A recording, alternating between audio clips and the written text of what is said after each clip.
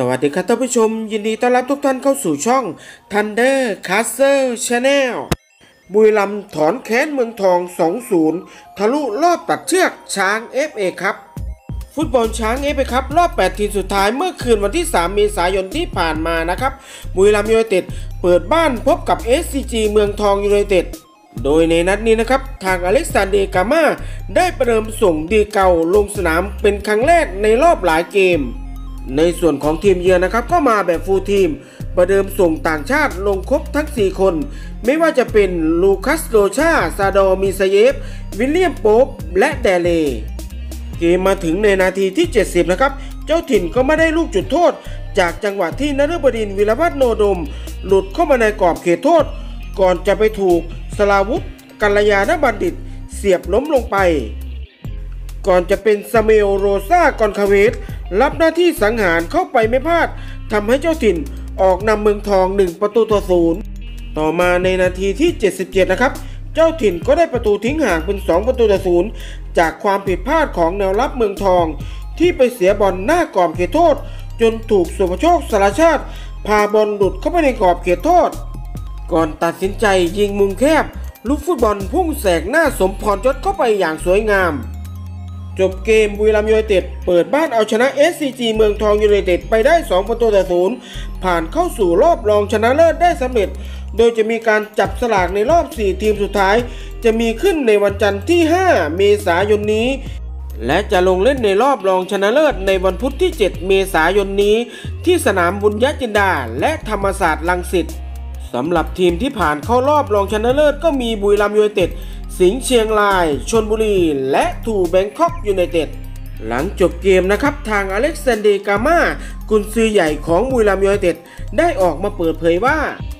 เกมนี้เป็นเกมที่ดีและมันมากๆ เกมนี้เราเป็นทีมเดียวที่ต้องการเล่นเกมบุก ต้องการจะชนะในเกมนี้ และต้องการจะจบให้ได้ใน 90 นาที ก็เลยเป็นเกมที่ยาก เพราะเมืองทองยูไนเต็ดต้องการจะมาเล่นเกมรับ และรอการเล่นโต้กลับ หวังเข้าทำจากลูกตั้งเตะ แต่ทว่าเราเองก็คุมเกมได้ดี พยายามเข้าทำพยายามเคลื่อนที่เปิดพื้นที่เข้าไปทำประตู และในตอนนี้ทีมที่ทำได้ดีกว่า ก็ผ่านเข้าสู่รอบรองชนะเลิศ นอกจากนี้นะครับทางผู้สื่อข่าวยังได้ถามต่อว่าหลังจากจบเกม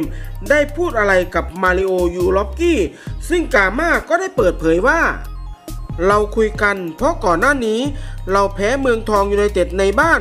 มีคนพูดถึงเกมนั้นเยอะมาก ซึ่งแน่นอนผมเองให้เกียรติมาริโอยูลอกกี้ เพราะผมชื่นชอบเขา แต่บางทีโค้ชที่ยังไม่ค่อยมีประสบการณ์ แต่ยังพูดเยอะ ผมก็ไม่ค่อยชอบเท่าไหร่ ยิ่งเกมแรกที่เราแพ้เขาในบ้าน ซึ่งผมบอกให้ทุกคนรอดูว่าเมื่อจบฤดูกาลบุรีรัมย์ยูไนเต็ดจะจบที่เท่าไหร่ ซึ่งเราเองจบอันดับที่ 2 ส่วนเมืองทองจดอันดับที่ 7 มีหลายคนพยายามเปรียบเทียบเราสองคน ซึ่งจริงๆแล้วมันเปรียบเทียบกันไม่ได้ ก็ขอให้เมืองทองยูไนเต็ดมีวันหยุดพักผ่อนอย่างมีความสุขนะครับ เพราะที่สุดแล้วการเป็นโค้ชต้องให้เกียรติซึ่งกันและกัน และผมเองก็ให้เกียรติโค้ชทุกคนเสมอ นอกจากนี้นะครับทางอเล็กซานเดร กามายังพูดถึงการเปลี่ยนตัวดีเกา และไมคอนมาร์เกส ว่ามีโอกาสที่จะได้เล่นในเกมหน้าหรือไม่ ทางกุนซือสมองเพชรก็ได้เปิดเผยว่า เกมนี้เราวางแผนไว้ว่าจะให้ดีเก่าเล่น 60 นาที แต่เรื่องกฎการเปลี่ยนตัว ซึ่งเราเปลี่ยนตัวไปก่อนแล้วในครึ่งแรกทำให้เราต้องเปลี่ยนนักเตะอีกครั้ง ตอนเริ่มครึ่งเวลาหลัง เพราะจะไม่มีการนับครั้งเปลี่ยนตัว ผมคาดว่าดีเก่า น่าจะได้เล่นอีกในเกมหน้า ส่วนไมคอนมาเกต ต้องรอเช็คอาการในวันพรุ่งนี้ก่อน แต่เรายังมีเวลาอีกหลายวัน อย่างที่เห็นในวันนี้ นักเตะของเราทุกคนสามารถทดแทนกันได้หมด นักเตะต่างชาติก็สำคัญ แต่นักเตะไทยก็ทำผลงานได้ดี ซึ่งสำหรับผมใครทำผลงานได้ดี ก็จะได้ลงสนามเป็นตัวจริงครับ อเล็กซานเดรกาม่ากล่าวทิ้งท้าย สำหรับการจับสลากประกบคู่ในรอบรองชนะเลิศนะครับ จะมีขึ้นในวันจันทร์ที่ 5 เมษายนนี้ แฟนๆ อยากเจอทีมไหนนะครับ ก็สามารถคอมเมนต์มาได้ แต่ที่สำคัญนะครับ ผมอยากให้กลับไปเตะที่สนามธรรมศาสตร์รังสิตเพราะสนามนี้นะครับ ถือว่าเป็นสนามนำโชคของบุรีรัมย์ยูไนเต็ดอีกทั้งยังเป็นสนามที่มีความจุเยอะนะครับ ก็จะไม่มีปัญหาในการหาบัตรเข้าชมในเกมนี้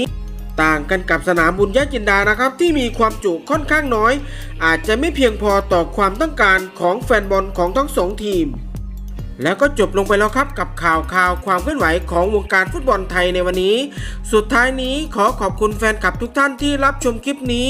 ใครชอบอย่าลืมกดไลค์กดแชร์กดติดตาม และกดกระดิ่งแจ้งเตือนกันด้วยนะครับ แล้วพบกันใหม่คลิปหน้า สวัสดีครับ